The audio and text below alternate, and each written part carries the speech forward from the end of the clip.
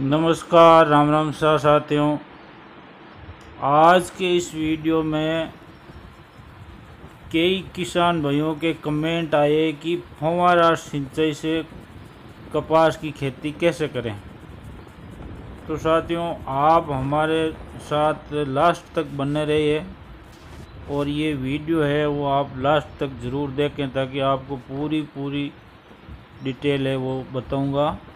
शुरू से लेकर लास्ट तक कि इसमें ये फुवारा सिंचाई करते हैं तो फुवारा सिंचाई से इसमें कपास कितनी होती है और क्या क्या सुविधा है।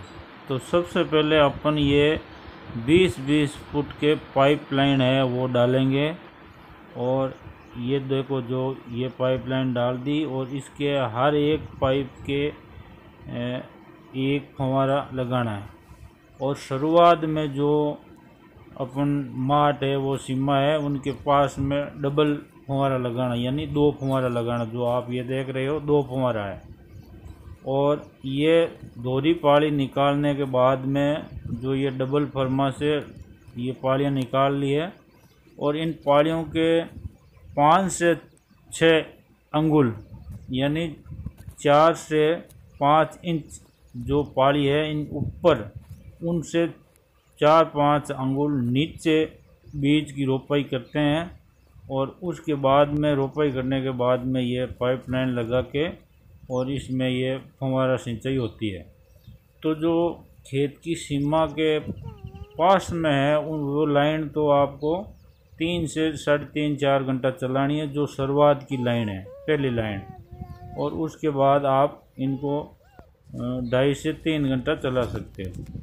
और आप बीज है वो ये रोपना है, आप अपनी जो क्षेत्र के हिसाब से जो बीज काम लेते हो, वो ले सकते हो। और मैंने तो ये पिछले साल ये बीज रोपाई की थी, जो यू एस इक्यावन का बीज है।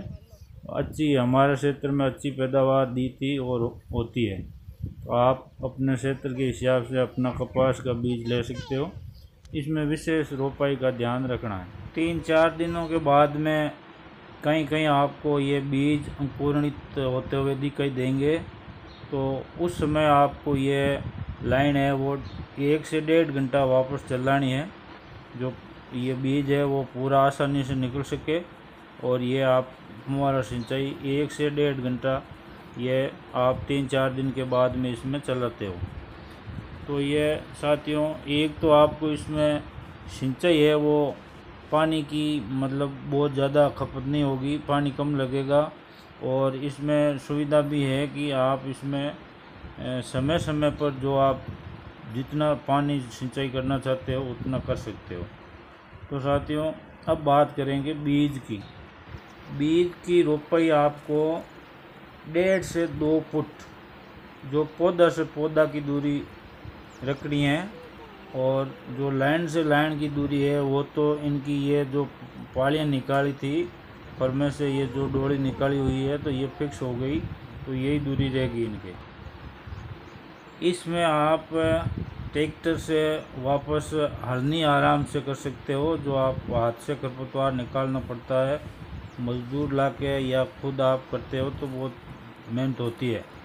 लेकिन इस ऐसे रोपाई करने से आपको इसमें ट्रैक्टर से हल द्वारा जो कल्टीवेटर होता है मिट्टी पलटने वाला हल, उनसे आप आसानी से इसमें खरपतवार के लिए वो हलनी निकाल सकते हो और ये डोरा लगा सकते हो इसमें।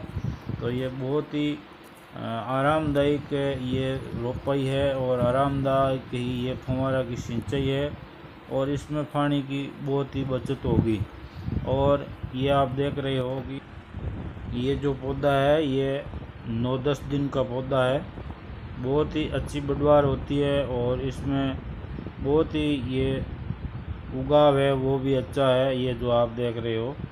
तो साथियों, आप फुहारा लाइन की सिंचाई खेत में शुरू करते हैं तो यदि खेत की लंबाई है, वो उत्तर से दक्षिण है तो आप पहली लाइन है वो पश्चिम दिशा की सीमा के पास रख के और शुरुआत करें, क्योंकि गर्मी में जो हवाएँ चलती है, उनसे ये पानी है वो पूर्व की ओर ज़्यादा बिखरता है।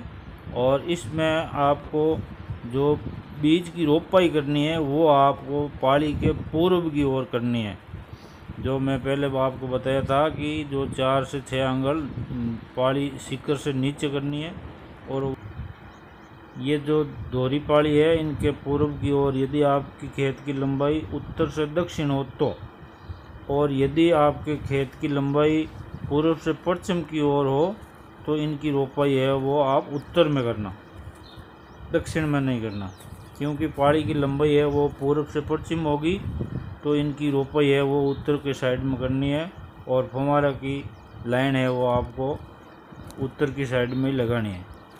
तो साथियों ये जो आप देख रहे हो, ये फुमारा की सिंचाई है और मैं ये सिंचाई 2002 से फुमारा सिंचाई से खेती कर रहा हूँ और इनकी अच्छी पैदावार होती है, जो छः से आठ साथियों, आप हमारे पिछली साल की जो कपास की खेती फुमारा सिंचाई की खेती है, उनके भी वीडियो आप हमारे कृषि ज्ञान यूट्यूब चैनल में जाकर देख सकते हो। और लाइव वीडियो भी है और वीडियो अपलोड किए हुए भी हैं। तो ये आपको